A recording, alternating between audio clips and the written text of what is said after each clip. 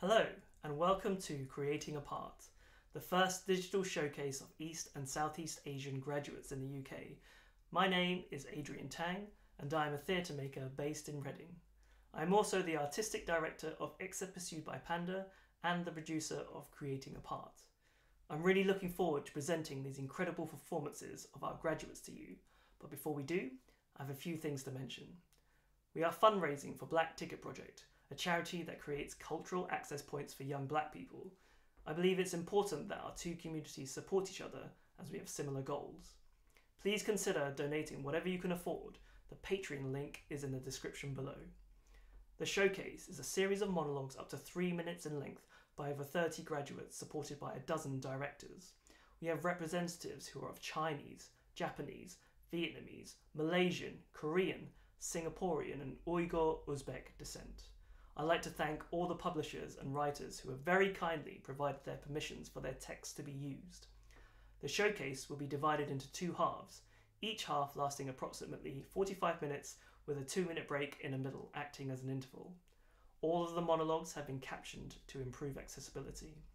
If you'd like to tweet along, please follow at Creating Apart for more information on each actor and their chosen monologue, myself at Tangfastic for insight and behind the scenes stories, and use the hashtag BESEA Showcase. So sit back, relax, and I hope you enjoy the performances.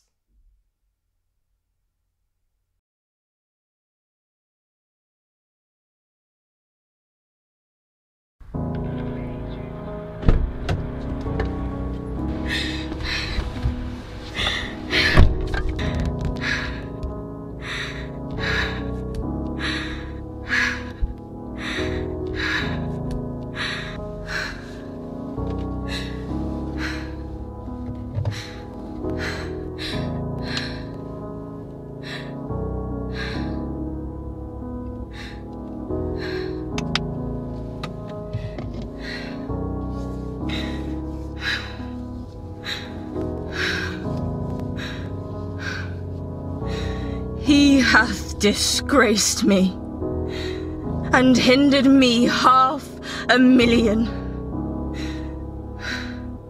Laughed at my losses, mocked at my gains, scorned my nation, thwarted my bargains, cooled my friends, heated mine enemies. And what's his reason?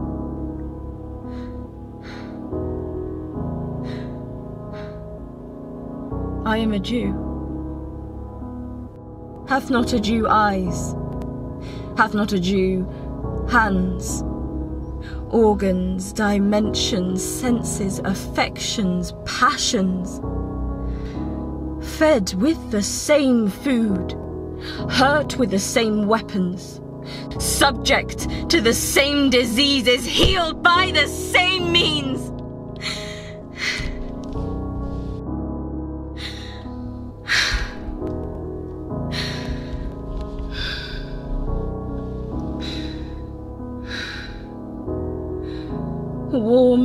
And cooled by the same winter and summer as a Christian is.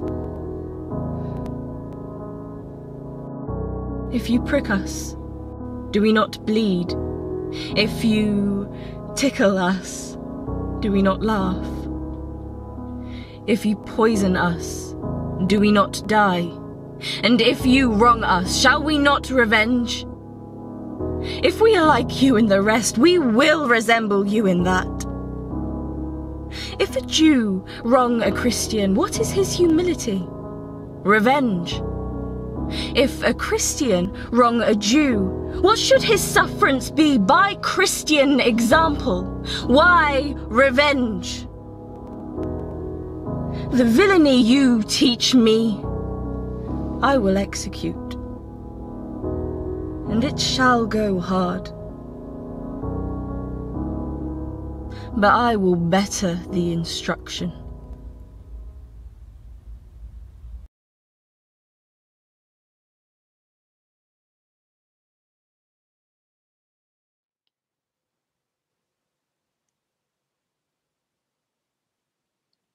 I think I finally understand why they say that you lose your virginity. I always thought that was a dumb expression. It makes it sound as if your virginity is this special sacred thing you're supposed to guard with your life.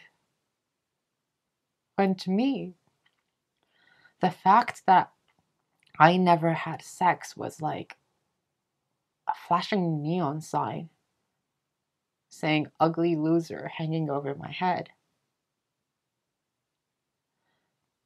I was trying to lose it.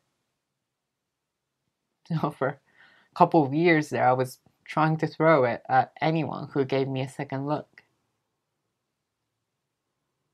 But now, I do feel like I lost something. Not my purity or innocence or any of that dogmatic bullshit. I lost the ability to distance myself from rest of the lowly humans. My position of self deprecating superiority that let me live without hope for all those years. I lost my isolation. I let you in. And I gave you the power to hurt me.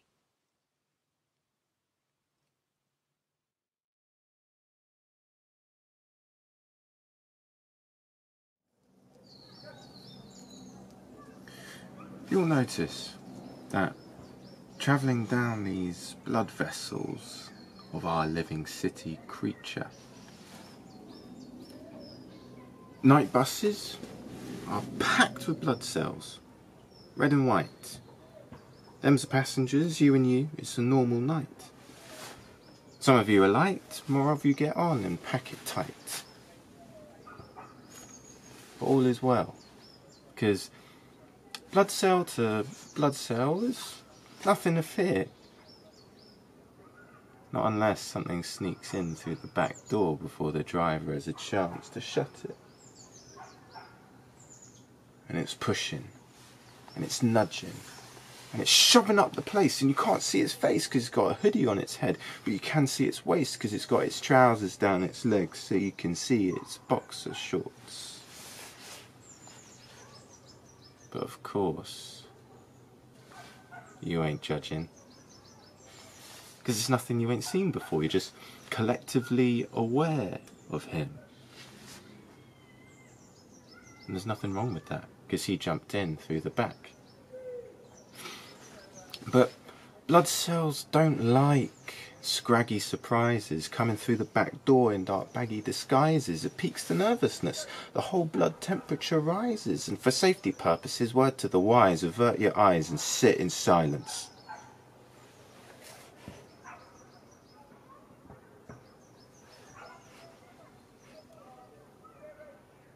The doors close.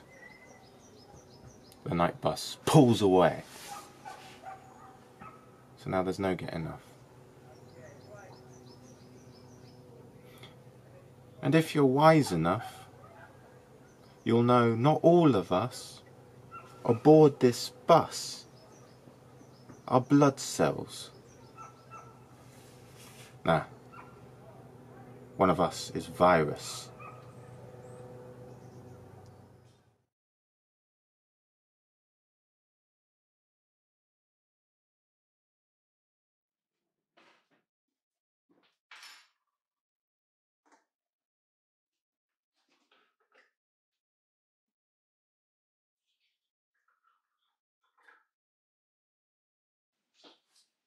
You think you want Harry. That's not what you really want. From where you're standing, from stolen moments a drink down the pub. Gentle, clever, witty, wise. He's wise, isn't he? Those quotes. If you were to tear off the rosy tinted spectacles for a second, really look at him, he's not funny. He makes jokes, they're not funny. He's gentle, yes. He's very kind and gentle. ready to run you a hot bath at the end of a long day, ready to stir your coffee when you just put the sugar in, ready to do for you the thousand and one tiny little things in your day you never asked for help with and could easily do for yourself. And worst of all, you know what? He's boring. I have to play solitaire on my phone during conversations just to maintain stimulation of vital parts of my brain. He interrupts me constantly when I'm trying to work, inexplicably narrating his every move. Just gonna go check on the fish. Oh, another email from Graham. Let's just see what's until four for a minute. Do it! Just fucking do it, Harry! Don't tell me about it, just fucking do it! He whines when he's sick. He cheats when he's losing. He kisses like a trout, and he weeps when he comes. Why does he stay with this girl? With this monster? That's what you think, though, isn't it? Just say it. I'm a monstrous bitch. And you could look after him much better, couldn't you? That's what you think. Don't you?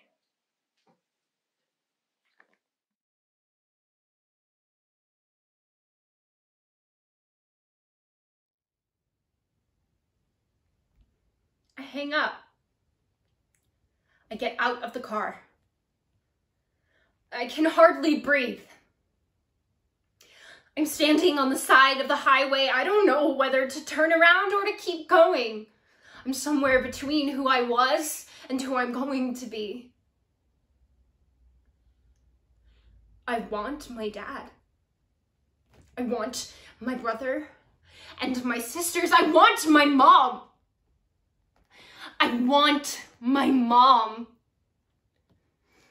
But I can't think of her, of them, not now, because if I do, then my chest will explode. I literally feel like I'm going to fall to pieces, that my arms are going to fall off, and then my legs, and then my head. And so, to keep myself from coming apart, I make a list of things I know to be true.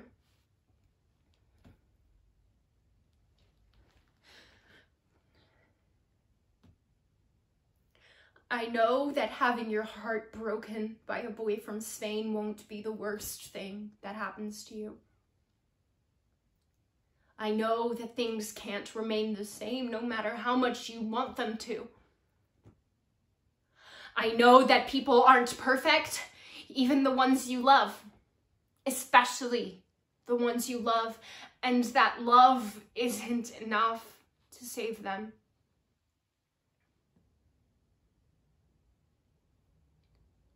I know what grief tastes like. It's bitter. I know what it sounds like. It's loud. And I know that on the day my mother died, my childhood finally ended. I know that summer turns to autumn and that autumn becomes winter and winter to spring and spring back to summer and it goes on. Life, it goes on.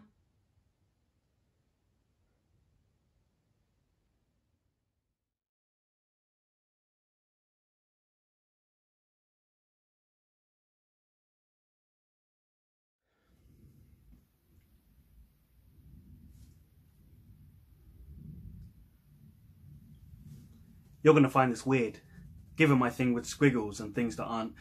But I love, I fucking love the circle line on the tube. Because in actual fact, the circle line isn't a circle at all. It's almost a square. If you want a straight line, then that's your line. And you know, the map, the tube map, I can really, I really get it.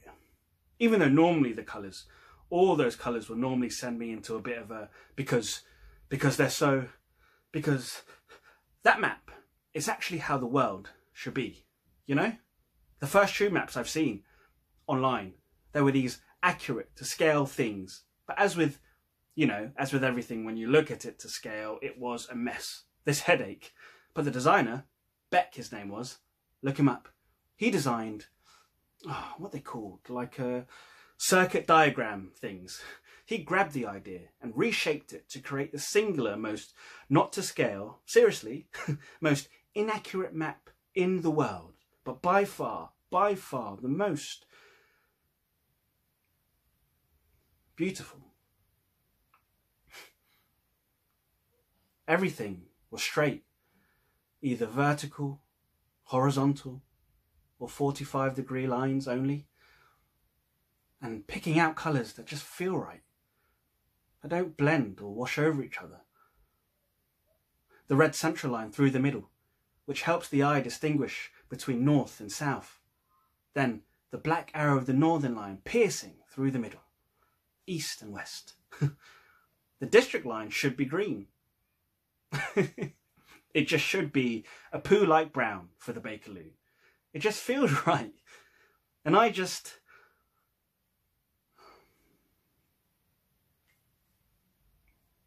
I wish that the rest of the world can be so easily redesigned and compartmentalized and ordered so that it fits.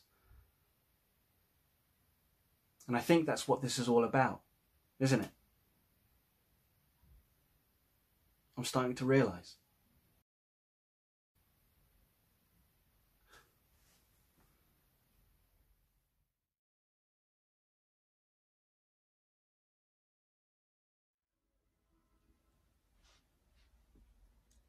It's changed. Running. More people out there doing it. More people jogging, which is odd, really. Everyone's supposed to be locked down. Joggers are annoying if you're a runner. You have to curve your path around them and that breaks your focus or curves your focus. Who wants a curved focus? But there's a lot of that going on at the moment. Focus curving, arcing, you run away from other people. You know the one thing I've seen more of when I'm out running? families. It's nice. Moms and dads looking more relaxed, like there's nowhere else they're supposed to be, which is true at the moment. It's strangely beautiful, actually. And uh, I know why I like the sight of that, the sight of families being families. I never really had it myself, so it's appealing. So I run towards it and then I run away from it because I can't look at it for too long. You see, my mom got ill and then my dad left, or my dad left and then my mom got ill. I'm not really sure which version makes me feel better. Anyway, I stayed. I don't exactly know what's wrong with my mom. I mean, there is a diagnosis, but that's just a set of words for me to get medication for her. My mom hasn't left the flat for almost four years now. It's how she lives. It's how I've had to live. So actually the lockdown has made no difference to her at all. But it's made a difference to me. I find it very difficult only being able to go out once a day. It's like a safety valve that has been taken away. So actually running has become more important to me, more of a release than it's ever been.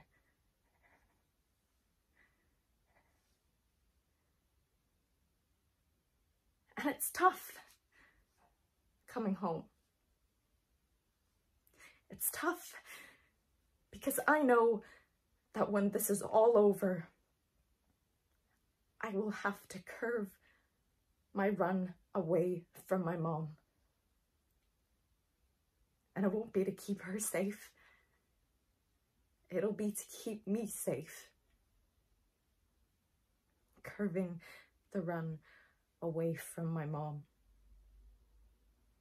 And I am dreading that moment.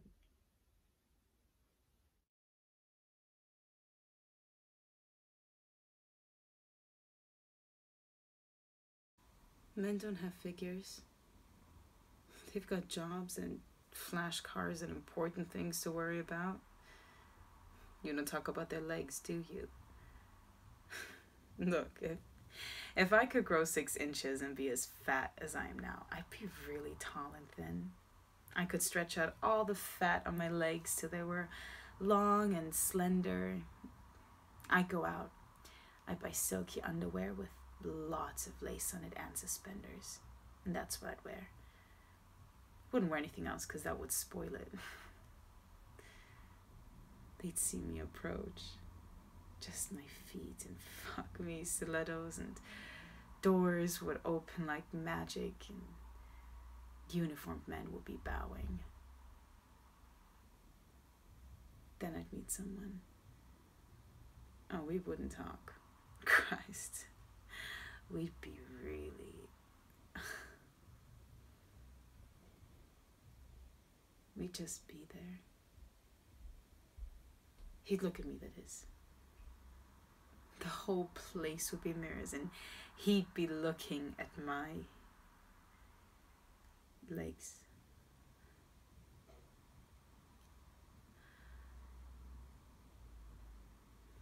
I've been eating all day. Got up this morning and I knew I was gonna do it. The trouble is, I don't really find my body disgusting enough. That's got to be the answer. I mean, if I was stones and stones of a way to be clear as day, I always thought that. It's a lot easier to do big things like realize there's nothing for it but to just wire your jaws together and stop eating completely. I don't have enough self loathing for that. It's either that or I can't be bothered to face it every day.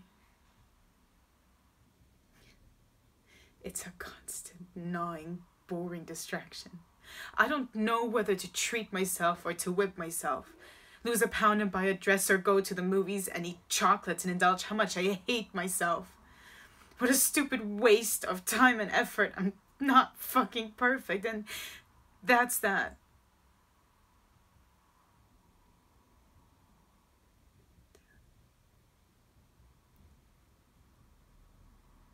I just want to be an amazing pair of legs in sunglasses getting into a car.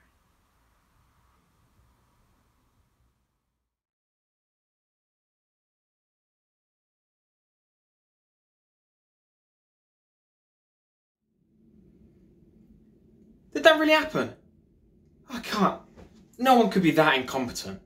No one could be that stupid, right? When you said you had the music covered, I trusted you. All you had to do was pick some songs, plug in your iPod, and press play. Simple. So why are you blasting out all the single ladies? Because there's only one single lady here, and she's a widow. Did you not have the time in your busy schedule to put on the right playlist? Or was it too hard to click off the naughties bangers you were bopping to in your car? And when you realised, when you fixed your mistake, why was the rest of the music a bombing run on our emotions? You'll never walk alone? He's a Man U fan. My heart will go on from Titanic. Our aunt died at sea. Always look on the bright side of life. I. Well, that was alright, I guess. But then, somewhere over the rainbow, he's not somewhere over the rainbow, is he? He's not playing with Dorothy and Toto. I don't care if, if it's tradition, it's not. I can't just click my heels and make everything alright again. It's fantasy. It's all. It's a fucking lie. And we keep lying to ourselves. Generation after generation about this mystery of life. But it's not a mystery, is it? He's dead. He's in a wooden box, six feet under, and that's where he's going to stay. And that little tombstone there, that's going to be there for years, but it's only going to be a couple of weeks before he's a rotting pile of flesh and bones. All that hope, all that magical bullshit, makes it ten times worse when it's ripped away from you. I just. I just wanted this beautiful service with carnations all around the room and some granny playing hymns on an organ. When it was over, we'd have the reception at the Horse and Groom. And we'd drink and we'd laugh and we'd cry. Coffin cost so much I could barely afford the church, let alone the rest. So I settled. And I shouldn't have. I should have saved for a rainy day, but no. It's all my fault. If you could see this now, I'd be fucking fuming. You can't. But you would be. You deserve so much more than this.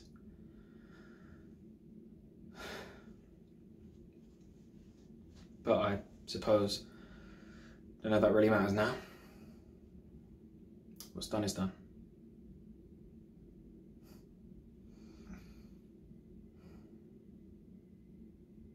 Maybe the magic's in the memories.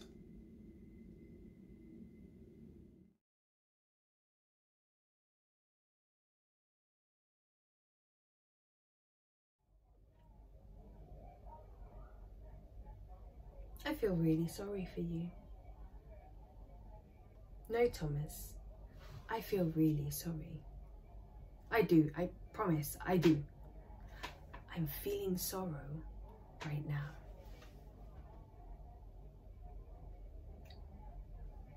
You have a kid, don't you? You do. I know you do. So, so you don't need to hide it. You have a kid. Yeah. Tough.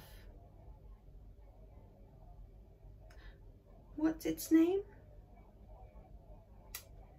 Is it Harry? It is Harry. I know it is. Do you know how I know this?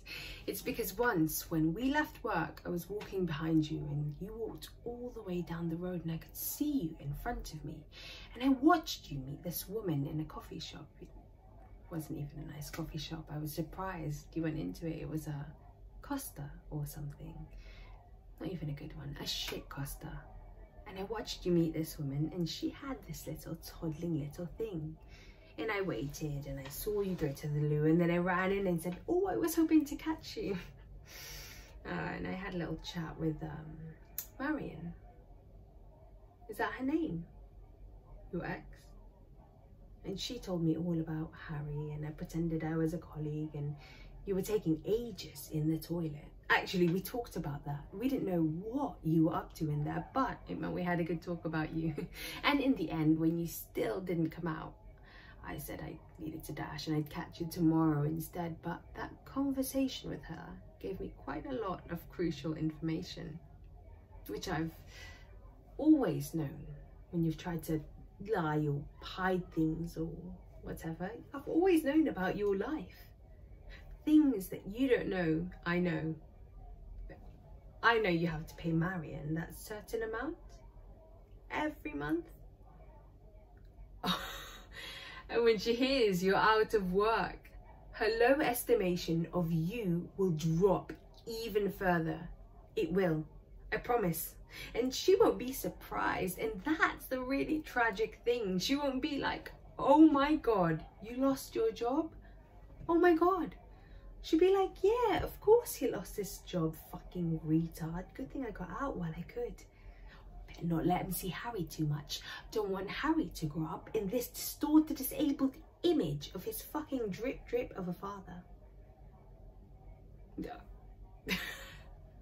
I expect that's what she'll think.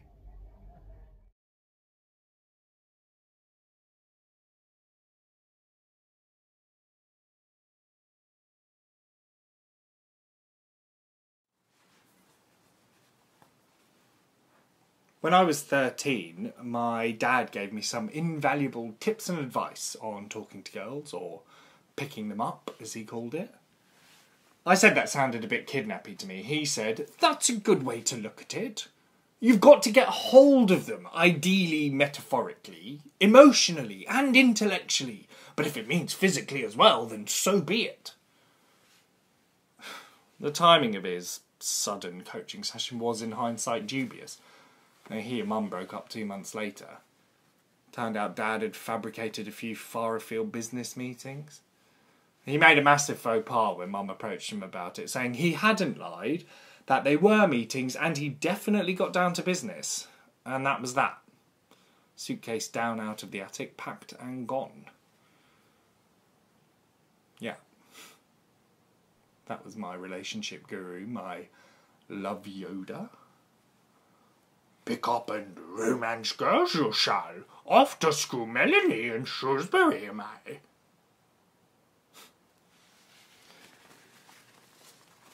So, was I popular with the girls?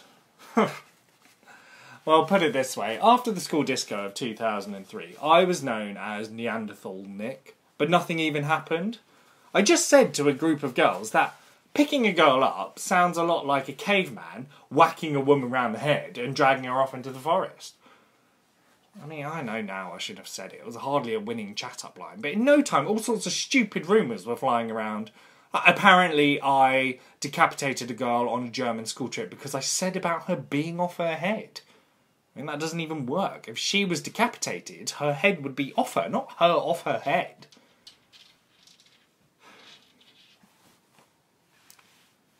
When I was 16, they got back together again. Uh, my parents, I mean, not the decapitated girl's head in her body. That was that was all made up anyway. Stop picturing it. My folks together again. Mom, pops. As it had been. It felt like we were a unit again. No stopping us. Then some woman in Ipswich gave birth to my stepsister. So, yeah, that was that again.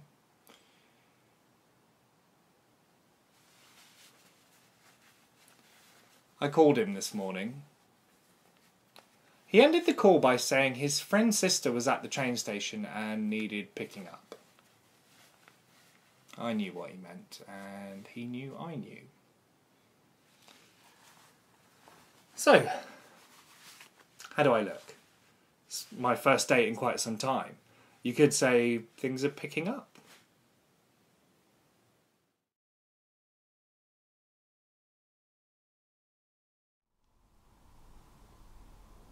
Look at me.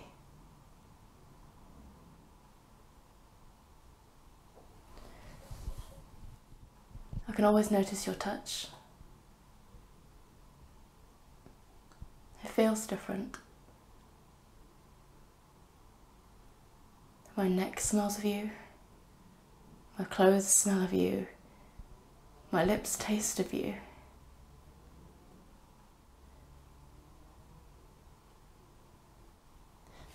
I ached to be surrounded by you, to tangle myself into you, to trace the curves of your face, to outline the alphabet on your bare skin, to hold your head to my chest, to fit my hand into yours, to gift you with half awake kisses to hear your mumbles under the pillows, to be the cushion that you lie upon, to surprise you with food, to drink until I'm drunk with you, to be carried by you when my feet hurt, to share a coat with you under the rain, to kiss you on an empty night tube, to wander the city pavements with you to wipe away your sadness, to make you feel loved.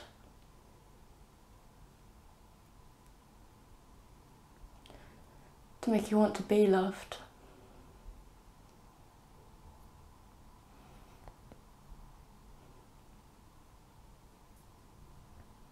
But I'm afraid of you.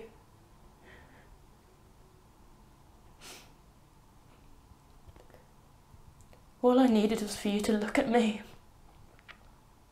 When my chest could not stop strangling itself, hands could not stop smothering the other, my mind would not hit mute to the endless channels of noise.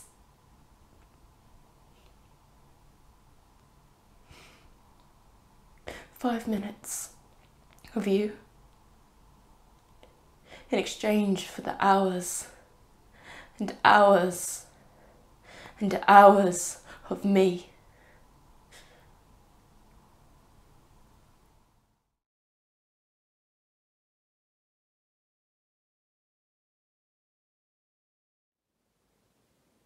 Yesterday, I actually found the courage to message a new match first instead of collecting them like rare Pokemon.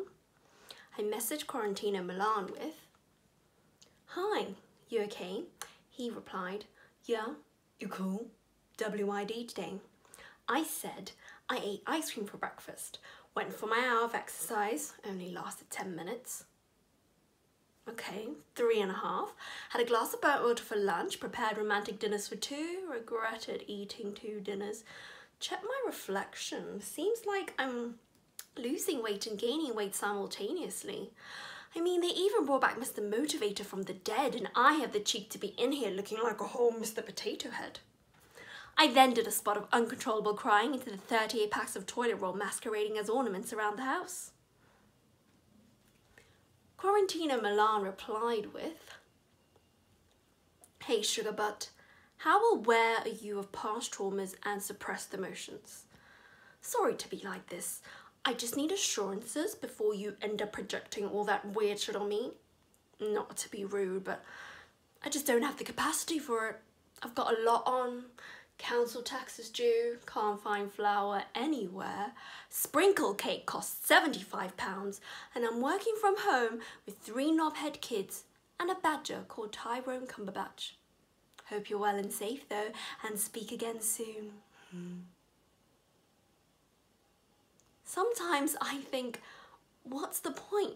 Surely we're all just here collecting information about someone until we realise we really, really don't like them and we've been cursed by the old lady from Snow White to be alone forever. Today the app suggests that I change to the find friends setting. Anyway, people say I talk a lot. You seem like a breath of fresh air.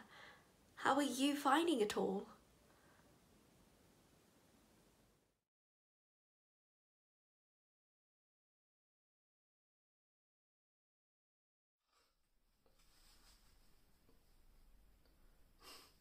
Yeah, so, uh, anyway, I went to this place, which is something I had never done, and this woman answered the door.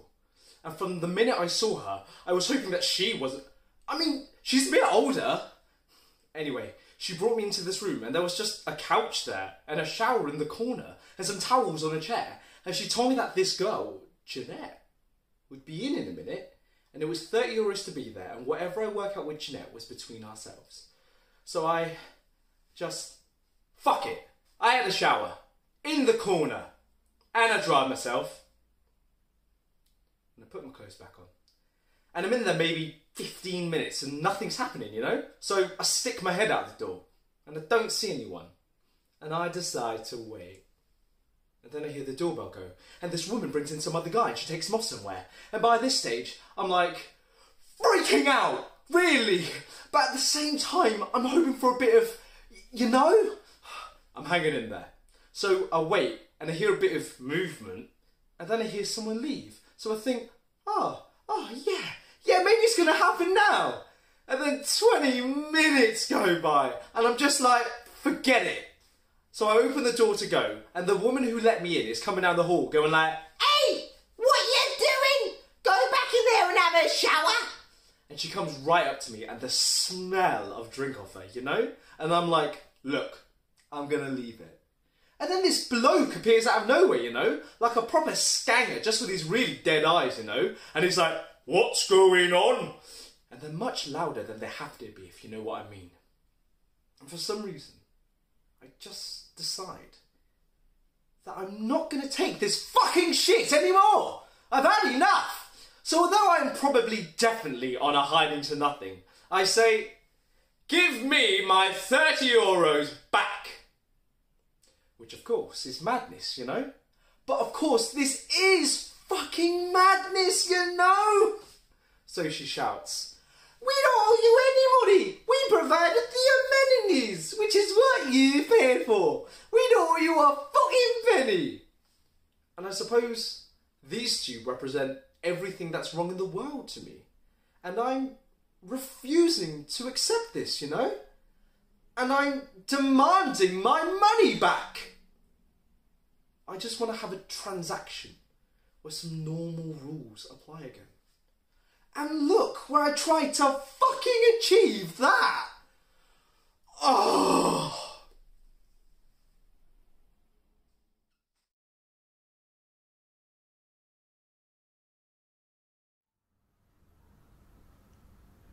I was at the cemetery with Al today to visit his grandma, his ama, and tidy up her grave.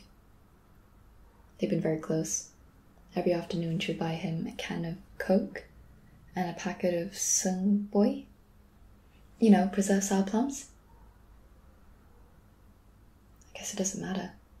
It's not like you understand me anyway. Dad never taught me Hainanese because it's not a practical language to learn. But I guess it's okay, Amma. We have a language of our own, right? He'll buy me a can of Coke and a large square biscuit. We'll sit together, I'll eat, you'll watch me eat, and we'll just smile at each other. You'll ask me, Hu jia bui bo, which I think means have you eaten? And I'll say, Ko jia liao. Yes, I have. When I was at Al's grandma's grave this morning, I saw him take out two small red cups of tea, a can of Coke, and a packet of Sing Boy. He said, Amma, jia jia, eat eat. Then he smiled at the black and white photo.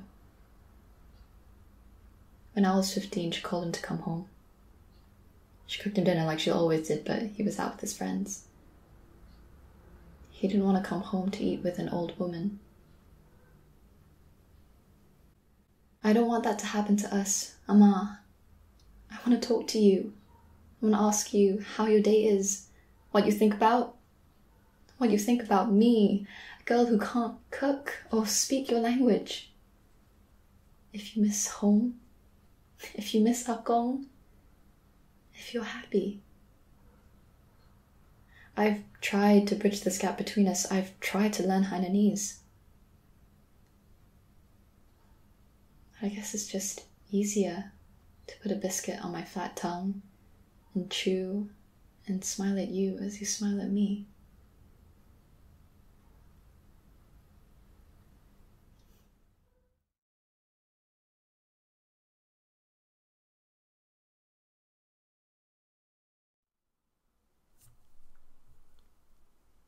I fucking hate pineapple juice.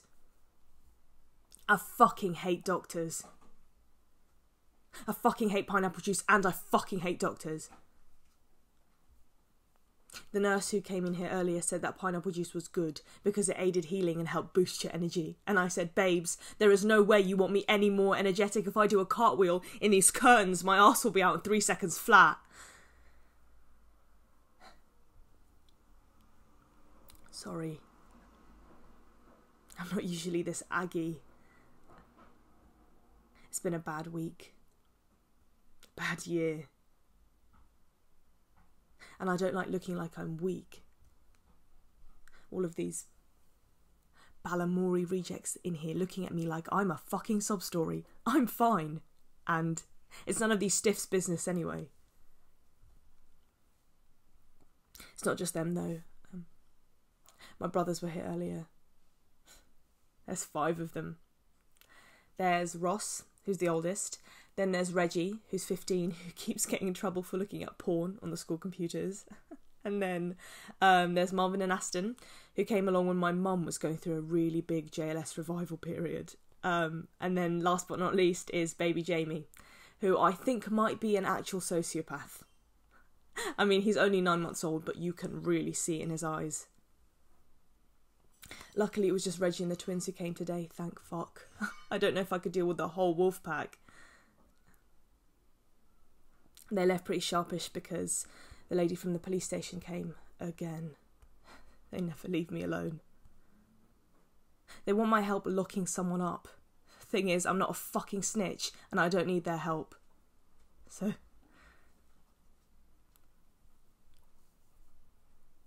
Her name's PC Andrews the police officer.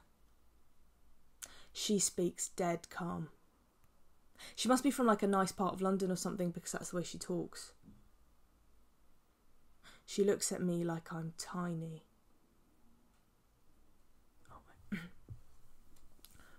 It makes no difference if you press charges or not. um, uh, uh, it, uh, it will only help us put a very dangerous group of people behind bars. Oh, do you know it was dead interesting?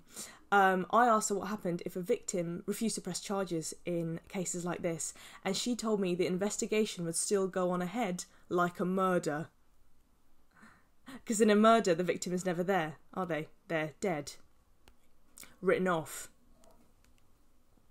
So I suppose this is a good way of thinking about it.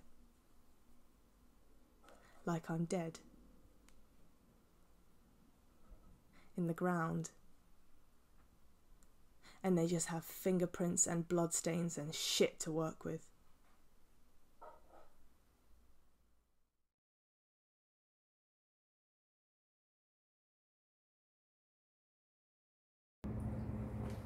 You don't remember me. I'm not. I'm Lou. We met at uh, Army Cadets ten years ago. You don't remember? That's fine. I don't cry. Uh, ever. Doctor said I was hard as fuck, so. Uh, as a baby. So, yeah. Don't feel anything. At all. Never have. Except this one night. With you. You don't remember, that's, uh... It was last night of cadets. Camp. The boys sneak into our dorm because the girls want to play this game thing where you have to guess where our nipples are. Guess our nipples and belly buttons. With our pajamas on. Which is erotic and challenging. Because we're all different, aren't we? Some people have really, like, low nipples or whatever. And, anyways, you're paired with me because no one else. I guess maybe we're getting bullied. You seem upset. You don't want to do it. You look at the floor and you sort of jab your finger at me and turn to go, but you. You get it? You get me? Bang on. I left one. I think you feel it. And I say, wowza! like that, breathy. Wowza! And, then people cheer because maybe they're bullying still. But I don't care because it feels real. Like a rom com. And you have this smile. I notice it. And, and, then you guess my right one. And you get that too. And I suppose it's easier after you get the first one because you sort of line them up, don't you? I wouldn't know. And then I nod. and then you move your hand down to my to my stomach. and you look me in the eye for the first time. And I didn't mind looking in yours. Uh, sorry. Hang on.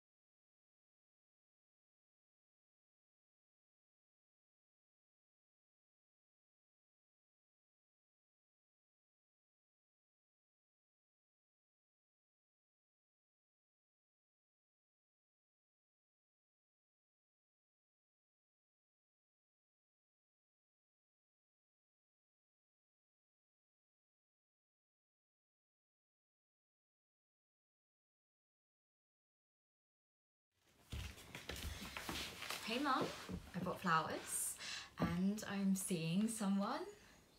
Sort of. I think I think you'll like him. He's sweet to me, kind. I don't know. I'm not very good with this.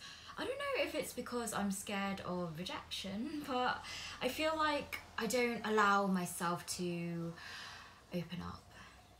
Expect the worst from them and they won't disappoint you.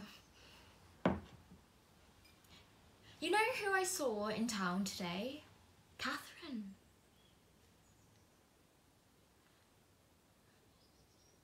She asked about you. Sometimes I take out your perfume.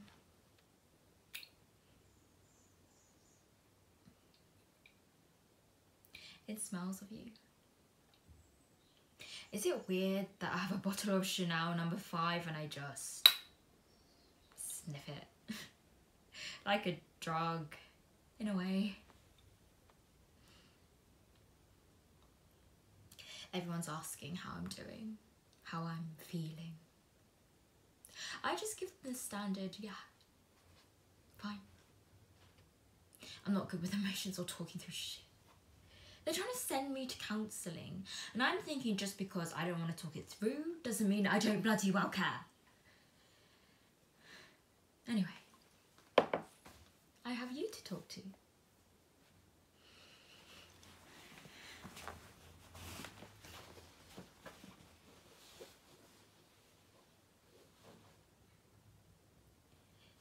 You, you always said I'll go places. That I'll make something of my life. But what if I don't? I'm, I'm scared I'm gonna disappoint you. I thought this would drive me, push me to go further, but I feel stuck. The world is moving, but I can't move with it. And I want to. I want to move. I want to do things in my life. I want to make it mean something. I just want to fucking let go.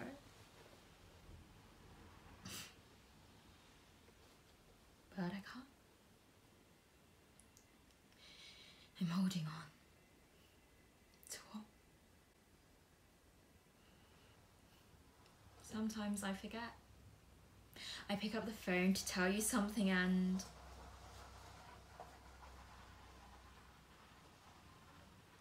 I just miss you.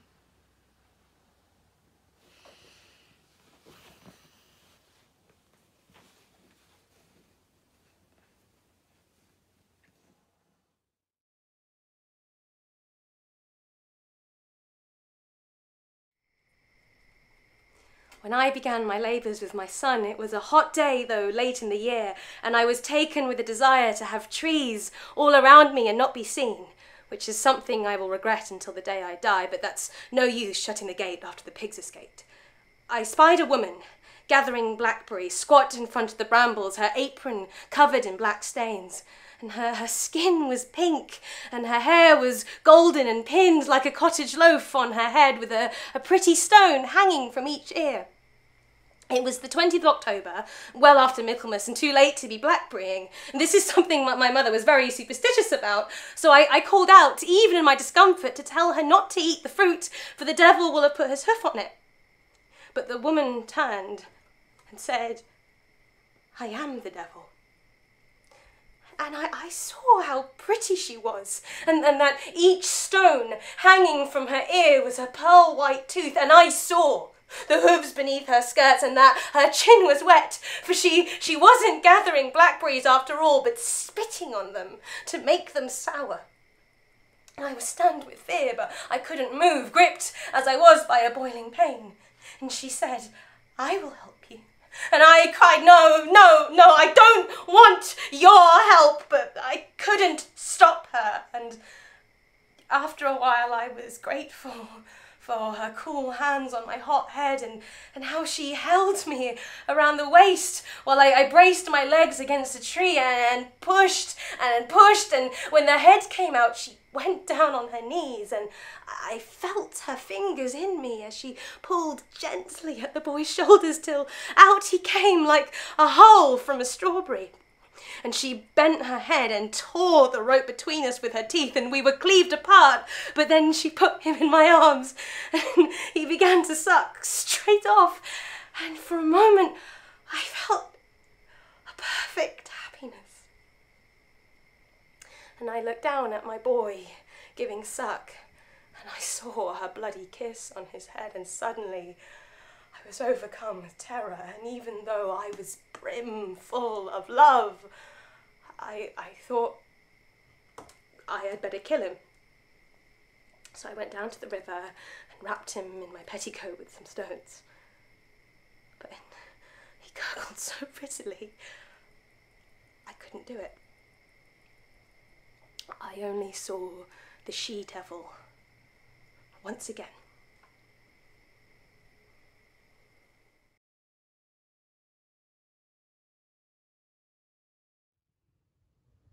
Grant them removed, and grant that this your noise hath chid down all the majesty of England. Imagine that you see the wretched strangers, their babies at their backs, and their poor luggage plodding to the ports and coasts for transportation, and that you sit as kings in your desires, authority quite silent by your brawl, and in the ruff of your opinions clothed. What had you got? I'll tell you. You had taught how insolent and strong hand should prevail, how order should be quelled, and by this pattern, not one of you should live an aged man. For other ruffians, as their fancies wrought, with self-same hand, self-reasons and self-right would shark on you, and men, like ravenous fishes, would feed on one another. Oh, desperate as you are, Wash your foul minds with tears, and those same hands that you like rebels lift up against peace, lift up for peace, and your unreverent knees, make them your feet to kneel to be forgiven. You'll put down strangers, kill them, cut their throats, possess their houses, and lead the majesty of law in line to slip him like a hound. Say now the king, as he is clement, if the offender mourn, should so much come to short of your great trespasses but to banish you. Whither would you go? What country by the nature of your error should give you harbour? Go to France or Flanders? To any German province? To Spain or Portugal? Nay, anywhere that not adheres to England. Why, you must needs be strangers, would you be pleased to find a nation of such barbarous temper that breaking out in hideous violence will not afford you an abode on earth? Whet their detested knives against your throats, spurn you like dogs, and like as if God owed not nor made not you, nor that the elements were not all appropriate to your comforts, but chartered unto them. What would you think to be thus used? This is the stranger's case. And this? Your mountainish inhumanity.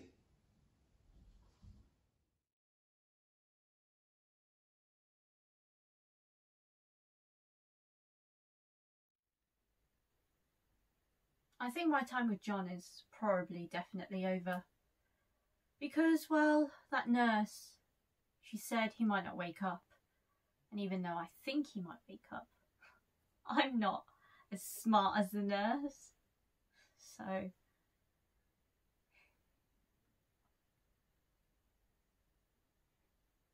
when dad left, I thought he'd probably definitely come back. And I waited. And I waited. And I thought he'd definitely come back, but he didn't. And I went to his work and he wasn't there. I called his phone. And a woman picked up. So I'm starting to think that maybe John probably definitely won't come back either. I think that all the best people, like Dad and John and that, I think sooner or later they will just all fuck off and just leave me with Mum and Nobby Steve and my brother. he won't stop crying these days, as if it was him who lost the love of his life and not me. And I think I'd always be left with Mum and Steve, or Mum and Ian, or Mum and Chris, or whoever the fuck she brings home next, because my mum, she seems to bring home the proper shit ones these days. And I used to think that she was well dumb in that, but then I thought, well, maybe she's realised that the best ones leave and the shit ones stay. So she brings home people like Steve and Ian and Chris and that until she gets bored and then she could be the one who fucks off to find another Steve or Ian or Chris and that. Maybe she's a fucking genius. And I think after John, I would do the same. I could do the same. I'll bring back a shit one, and not a best one. Except there's no way. And after John won't exist. Because after John there's nothing but Mum and Nobby Steve and college and Salford, just like there was before John. And I ain't doing that again.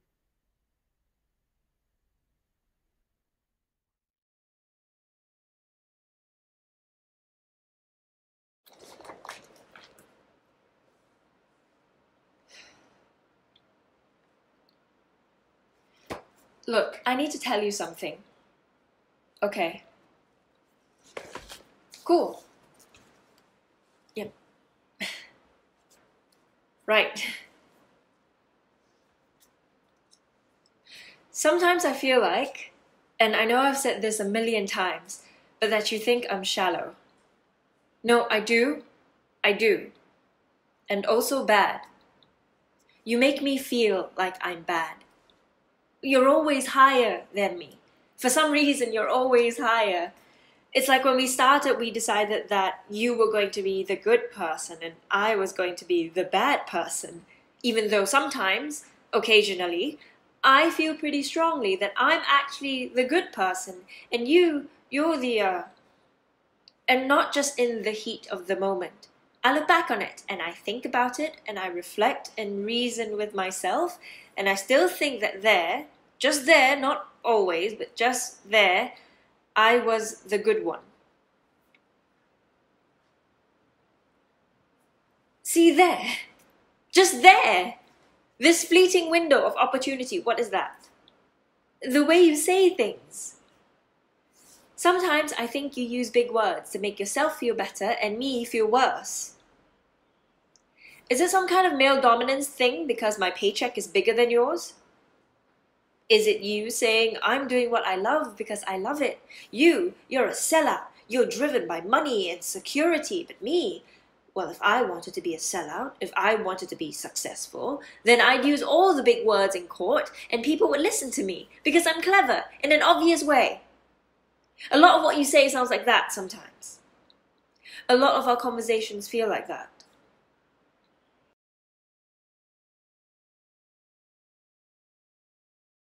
You know what, Mum? I never liked baking. Never. It was just something that I thought would be nice that we could do together. I've spent so much of my life indulging you in this stupid fascination that at some point I, I must have actually convinced myself that I enjoyed it.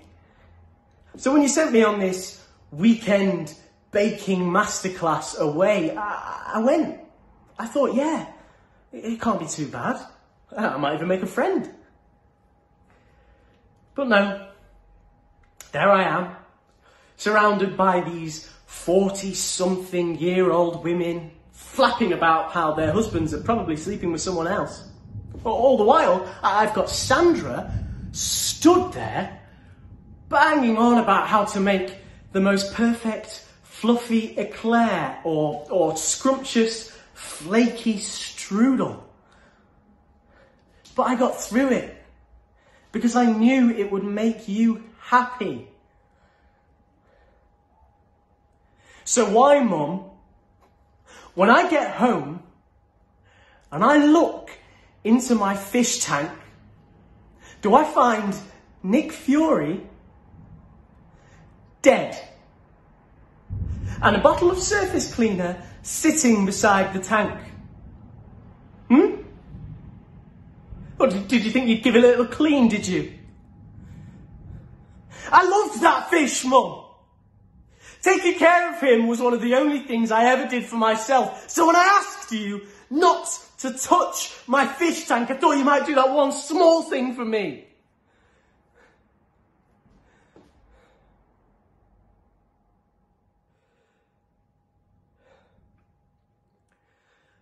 I've just been outside digging a grave. And I want you to know that I'm going to bury my apron and you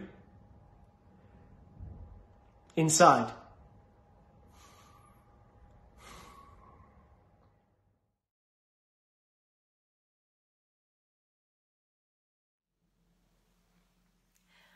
I saw a magpie today. There's one. Now, I've never been superstitious, never really. But some people are, and that's cool. That's interesting. Some people really go for it, they live by it. Superstition. It's just fear, though. Fear of having no control, fear of surprise. It's fear and the need to blame. The need for it to not be their fault if something bad happens. The need to hand over responsibility. It's just fear. I saw a magpie today and it felt as though my heart stopped. It felt as though ice was inside me, like ice was in my soul or my core, like ice was in my blood or something. It felt like ice had stopped me for a minute.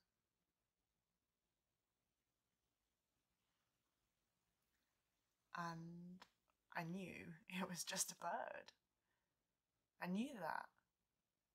I knew it was just a random bird following a random impulse to fly and land.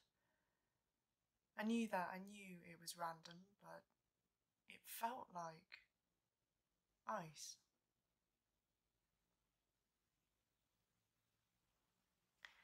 It felt like a message, like a message from you, like you were sending me a message about hope and about not relying on it. Felt loaded and it felt real, very properly real, and it felt like ice in my womb.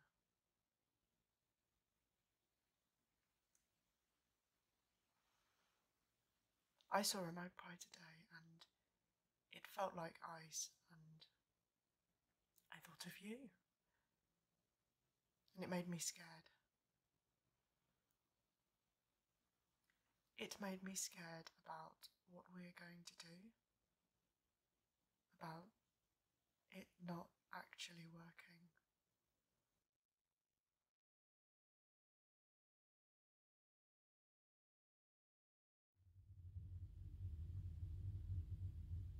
So, this is my room.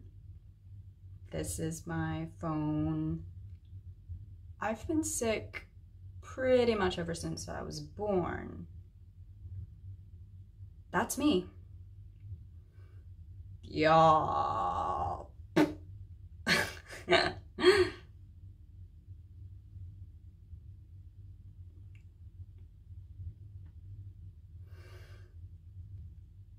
they tried a ton of stuff and now we're at the point where I just need a new thing.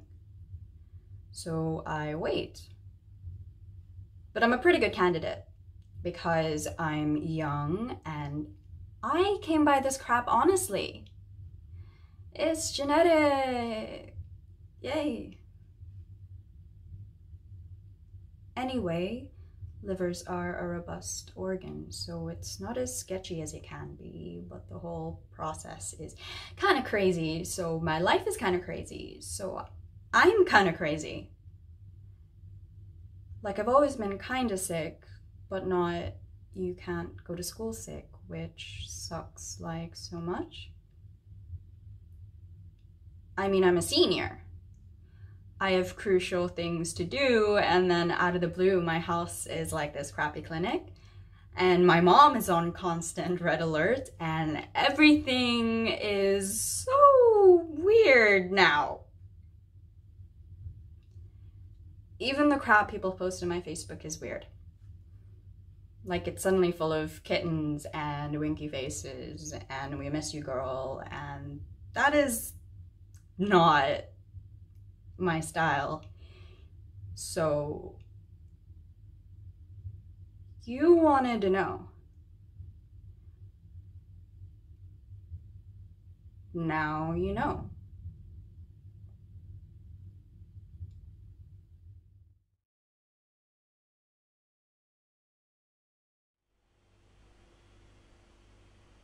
I don't know what it is about me, Philip. Something about my name. It feels as if someone's calling me by my name. The name I respond to. Like the other night, I'm walking by the gay place on the corner and I'm walking by it and I'm thinking, you need to go home, you need to work, had to write a piece for the mail on God knows what, the end of the world is nigh, that kind of thing. And I'm walking by the pub and it's as if this voice is calling my name. As if this voice knows my name. So I walk in because this voice is calling me by my name. Have a couple of drinks, and there's a guy there, and he's not even good looking. Actually, come to think of it, he's actively quite ugly. And you can smell the beer. You're six feet away from him, and you can smell it wafting off his breath. And he's got a look in his eyes, and he's looking at me as if he knows my name too. He's a bit pissed and he's leering. I mean, leering. And I'm thinking, God, you're really kind of gross. And next thing you know, I'm actually standing next to him and he's telling me he's married and his wife's at her mother's for the week and he's kind of talking to me and rubbing his groin at the same time. And next thing I know, we're in a cubicle and I'm on my knees.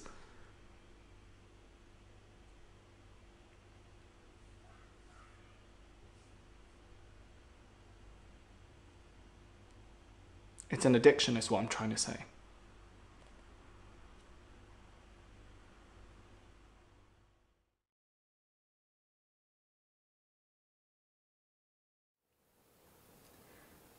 No. I don't feel anything like that because I think I know at my heart if it wasn't me, there'd be someone else doing this to you. I think I know in the deepest bit of my heart that actually you bring this all upon yourself. I don't behave like this to most people. I let most people get on with their lives or I share a joke or whatever. But for some reason, with you, I feel the need to bring you down. I think it might be an evolved thing. In a society, in a culture, that if we see someone who's really going to bring down the whole tribe or whatever, someone who's really going to fuck up the rest of us because they're stupid, or slow, or weak, or thin, or short, or ugly, or has dandruff, or something. You have the desire somewhere deep within yourself to take them down first and get rid of them and strengthen the tribe. That's all I'm doing with this. That's why I'm inexplicably drawn to you all the time, just poking and poking and poking and poking and poking and poking and poking and being fucking awful to you. And you're right. We are, both of us, Tony and me, we're really horrible to you. You're not imagining it. It was real. But that's why. Because I think it's instinct. And I think it goes on all the time. I think it's actually everywhere. I think It's actually how things are supposed to be.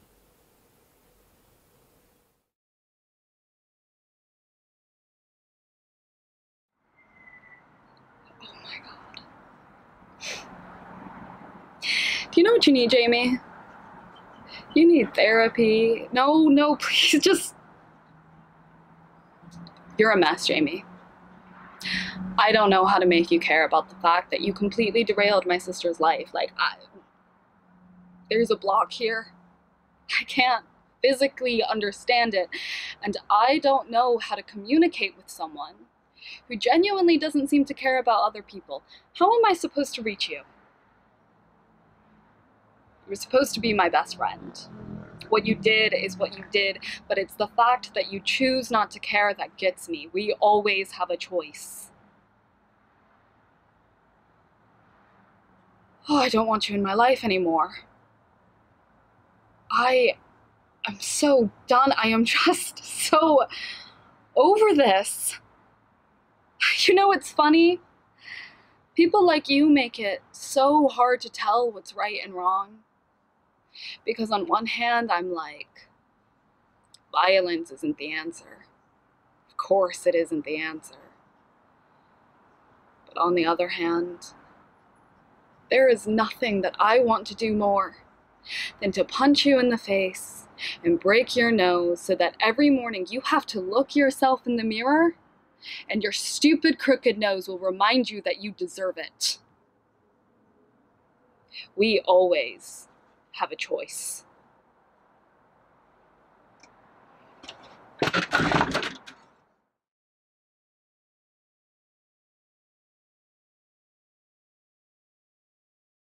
Last night, in the middle of the night, I walked our walk again. That walk? The one we took that day? The girl would have freaked if she woken and I wasn't there, but I thought, fuck it. I'm going, fuck it. This is the last time I'm here. This is the last time the house is here. I leave, it's three o'clock in the morning, and I'm running through the estate to the medical centre. Past St. Joey's, past what's his name's house, who was in my class at school and got his eye poked out in a fight at the fifth year disco. Not so fucking hard now, are you, one eyed bastard? Through the shitty precinct, six derelict shops, a chippy, and a fucking spa. I'm outside the medical centre. It's a burnt down shell. I wander through what's left. I'm in the room. That room? It smells of piss as well. Used needles on the floor. It's dark in here. Empty. No sun. When we were here, there was bright, bright sunshine streaming through the window. A doctor and six fucking medical students. Six fucking medical students, and I'm afraid she's going to have to have more tests. Six fucking medical students, and she's not going to get any better. Six fucking medical students, and everything that was before we came into this room is gone. You're brought back in, and you sit next to me. You smile politely, that working class deference to authority. I can't hear anything. I can't see anything. I'm not sure if I'm still breathing. There's something in my stomach and it's rising to my chest, it's in my throat. I'm out the door. We're walking back together, you and me, mother and son. I wanted to. I wanted to. There's something stuck in my throat and I force it down. You're by my side. You look worried. I've never seen that look before. You look scared. I shouldn't be seeing you like this. Children don't see these things. They can't. They just can't. I walk faster. You're trying to keep up pathetic little steps, looking up at me. What did he say? I force it down. Must be the change. I force it down.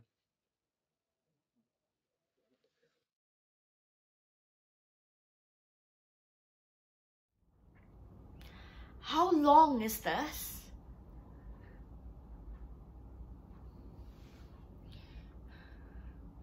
This disease of waiting follows most of us wherever we go.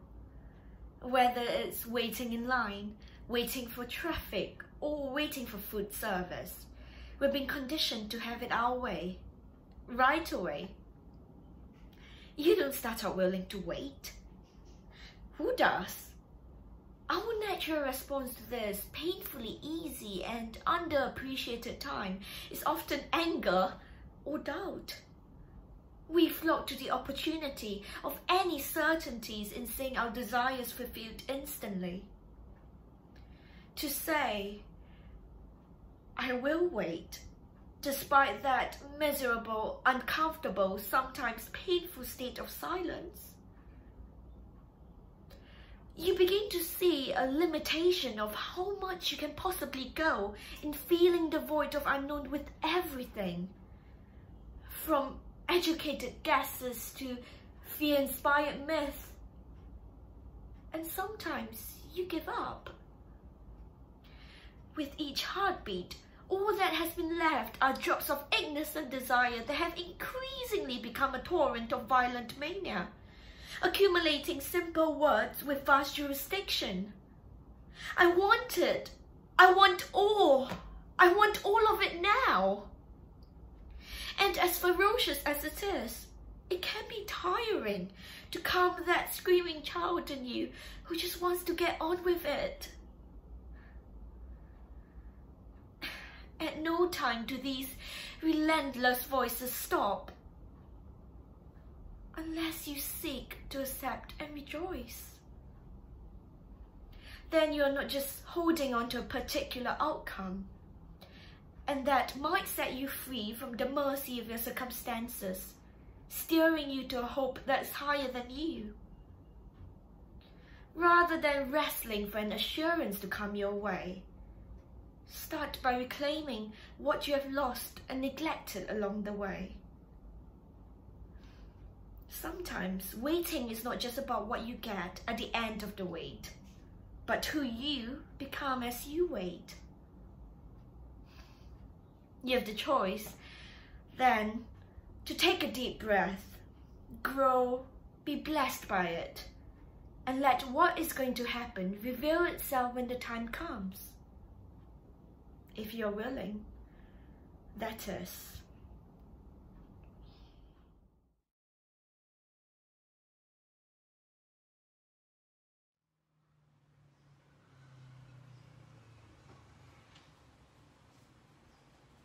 Look on their country. Look on fertile France, and see the cities and the towns defaced by wasting ruin of the cruel foe. As looks the mother on her lowly babe when death doth close his tender dying eyes. See, see the pining malady of France. Behold the wounds, the most unnatural wounds, which thou thyself did give her woeful breast. Oh, turn thy edged sword another way. Strike those that hurt, and hurt not those that help. One drop of blood drawn from thy country's bosom should grieve thee more than streams of foreign gore. Return thee therefore with a flood of tears, and wash away thy country's stained spots. Besides, all French in France exclaims on thee, doubting thy birth and lawful progeny.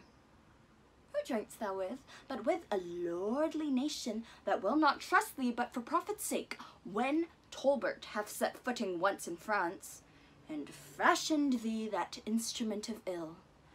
Who then but English Henry will be lord, and thou be thrust out like a fugitive? Call we to mind, and mark but this for proof.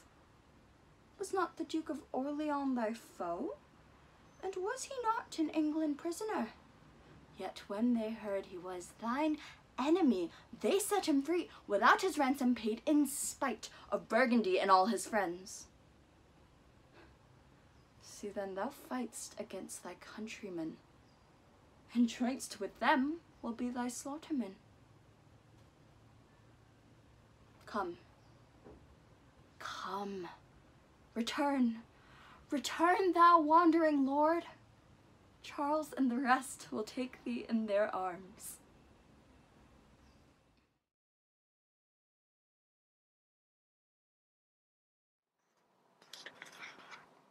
Everything has a solution.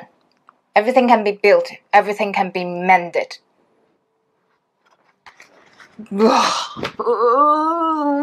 I sound alright T? Apparently, if you pretend everyone's naked, then you're less nervous. But even the thought of it is making me more nervous. It was the first thing you told me. I remember you said if I do a Rubik's Cube, I don't understand logic. You're right, you know? You'd be surprised how knowing that everything can be fixed has helped me. Especially Dow and B&Q. I've been employee of the month for three months running. Did I tell you that? Even this month, when everything got really tough. I guess I just throw myself into it. If you work in a DIY place, everything is either already broken or the customer needs to fix something broken, or the process of doing DIY has broken them. Sometimes I pull out the Rubik's Cube and the older customers laugh because they haven't seen one for ages. Once you've got someone to laugh, all the stress, all the brokenness, it's a lot easier to deal with. You told me that too. Guess I've got a lot to thank you for, right? Everything has a solution. Everything can be built. Everything can be mended. I sound lame. Mom says I need to stop and I can't fix everything. Well, she's wrong. As soon as I get my exam results and leave B&Q, I'm going to medical research.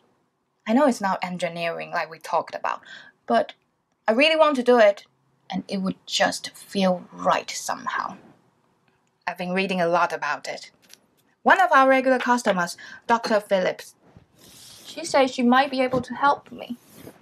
She's doing up her whole house, so she's been coming a lot, and we got talking. She works for one of these big research lab, and she was telling me how brilliant it is when they make a breakthrough. A step closer to finding a cure. A step closer to fixing things.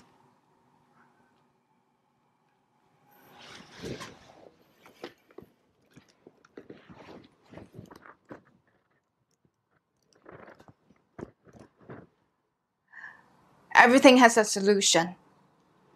Everything can be built. Everything can be mended.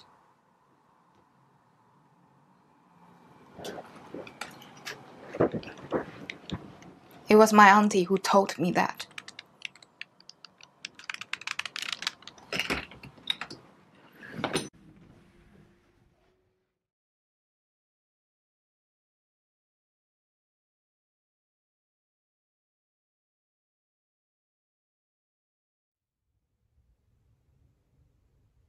This whole place is literally full middle class cunts claiming that they escaped the gutter and fight for the interests of the poor when they all went to private school and had shoes that cost more than a year's rent.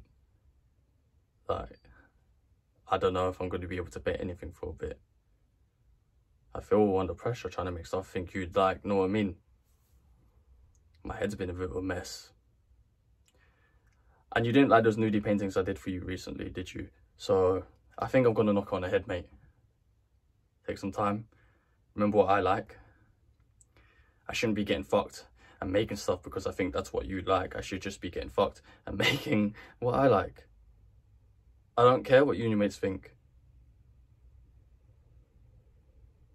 Uh, people like you are on the art because you don't believe in its function and all you see is its price. When you don't realise that actually it's just about being honest and saying most people think it's wank because you're making it wank. Why can't we just make stuff normal people like? Why'd you have to be original? Why'd you have to be cool? Why don't we just speak the truth in a way that people engage with? So fuck off, Lewis. Self-centered, egotistical twat.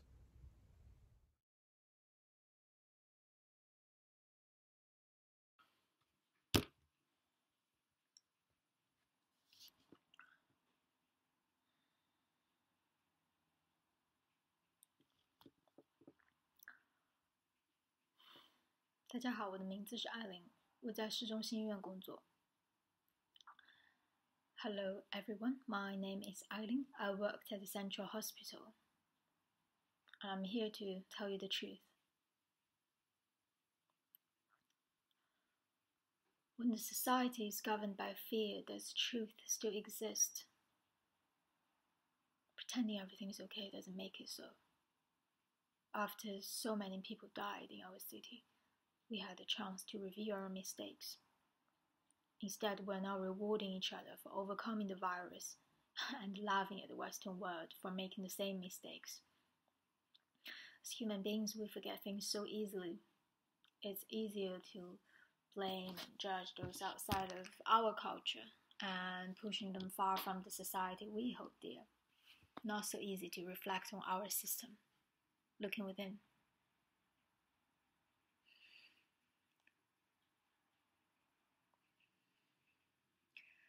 Dr. Zhang has passed away. While you celebrate the great victory over COVID 19, have you thought about him? He worked so hard. He missed his own daughter's birthday. Now he will never have the opportunity to celebrate another.